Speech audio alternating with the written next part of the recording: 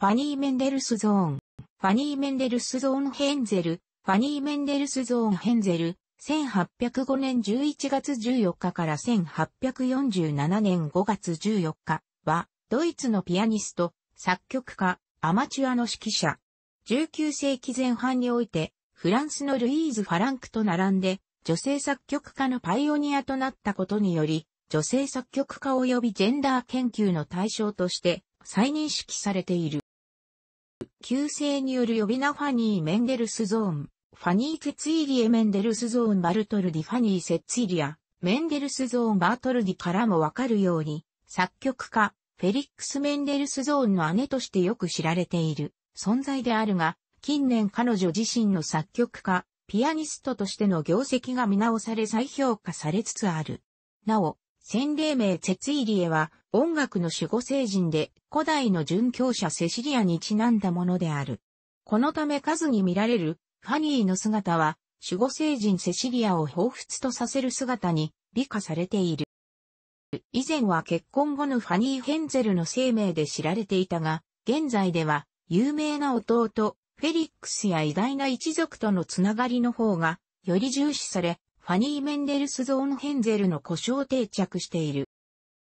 ハンブルクでユダヤ人上流階級に生まれる。母方の一族は大バッハの次男カール・フィリップ・エマヌエル・バッハのパトロンであり、またその鍵盤楽器の弟子でもあった。このためメンデルスゾーン家には音楽が根付き、子供たちは作法や語学教育などと並んで音楽教育を受けた。特にファニーとフェリックスは、ピアノと音楽理論、式という共通の音楽教育を受けた。弟と同じく彼女も、また、幼少の頃より並外れた音楽的才能を披露し、作曲も始めた。フェリックスは、姉の才能を理解し、高く評価してさえいたが、女性が職業に就くことをはしたないとする当時の風潮から抜けきれず、姉が職業芸術家として活動することに積極的に意することができなかった。あるいは、似たような才能を持つ姉をライバル視していたのかもしれない。父親の姿勢は、息子、フェリックスほど複雑でなく、娘ファニーに、お前は、弟の天才が理解できるのだから、それで満足しなさいと明快に言い切った。実際ファニーとフェリックスは、一生を通じて、今日研究の対象とされるほど膨大な往復書簡を残しており、その中でファニーは、しばしば弟の作品に助言と批評を与えている。ファニーは、弟フェリックスにとって良き理解者だったと言えるが、父親は彼女に、弟の相談相手になることを、本心から促していたわけではなく、作曲と自作の演奏を諌めようとしたのである。1829年、何年かの交際の後、宮廷画家のビルヘルム・ヘンゼルと結婚した。ヘンゼルは指定の作品がよく演奏されるメンデルスゾーン家の音楽サロンや文芸サロンに出入りしており、ファニーとの馴れ初めもそこだった。ファニーが身分にふさわしいとされた貴族や知識人ではなく、当時まだ職人階級とみなされていた画家と結婚したことについて、ジェンダー研究者はそこに父親への反抗を見出している。1838年にはピアニストとしてデビューする。デビュー曲は弟フェリックスのピアノ競争曲第1番であった。この頃にはファニーの作曲活動も再び活発になっている。オット・ヘンゼルはファニーの音楽的才能の最大の理解者であり、自作を公表、出版するようファニーに根気よく説得した。1840年代の世を去るまでの数年間、ファニーが意欲的に作品の創作、出版に取り組んだのは、夫の励ましによるところが大変大きく、それによってファニーは一時期落ち込んだジレンマから脱出することができたのだった。ファニーは出産後、夫の任務に従ってヨーロッパ各地を転々とした。プロイセン、ベルリンに帰国し音楽活動に再び意欲的に取り組み始めた矢先の1847年5月14日、弟、フェリックスの最初のワルプルギスの夜をリハーサル中に突如、脳卒中に倒れ、そのまま帰らぬ人となった。ファニーの旧姓が弟フェリックスに与えた衝撃は、計り知れず、フェリックスは姉ファニーの代わりにその意向を整理している最中、わずか半年後の1847年11月4日、姉と同じ脳卒中に倒れ、そのまま急逝した。ファニーは個別に数えると600曲近い作品を残したと言われている。あまりにも膨大な数から、その全貌が解明されたとはまだ言えない。しかし、楽譜の出版や演奏、録音によって作品の一部は身近になりつつある。作品に管弦楽曲と室内楽はほとんどなく、ピアノ曲と声楽曲が莫大な作品数の中心を占めている。現在とりわけ有名なピアノ三重奏曲は死後に弟フェリックスの皇帝により出版された。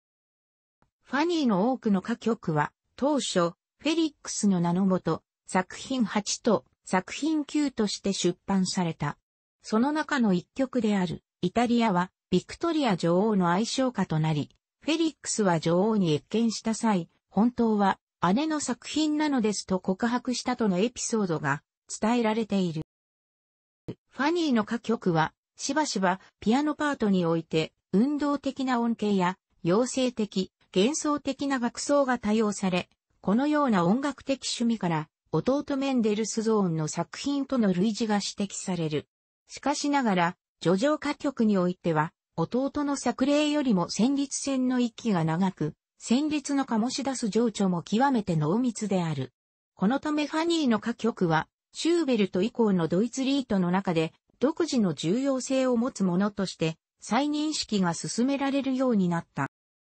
ピアノ曲は自由形式のキャラクターピースが多く、歌曲の様式が採用されている。単旋律と伴奏音形からなる単純な処方は、19世紀、初頭に流行したロマンスのパターンを踏んでいる。しかしながらファニーは、そこに巧妙な転調や印象的な旋律を仕掛けて、独自のジャンルへと高めた。これが無言歌、リード、リーデル・オーネ・ボータであり、弟、フェリックスの有名な作品を通じて、新しいジャンルとして普及されたが、現代の多くの研究者は、無言歌を考案したのはファニーであったと指摘している。ちなみに、ヘンゼル夫妻はは、イタリア滞在中に、ローマ留学中のグノーと親しく交流しており、グノーが後に伝えたところによると、ファニーは、無言歌は私が考え出したのですと語ったという。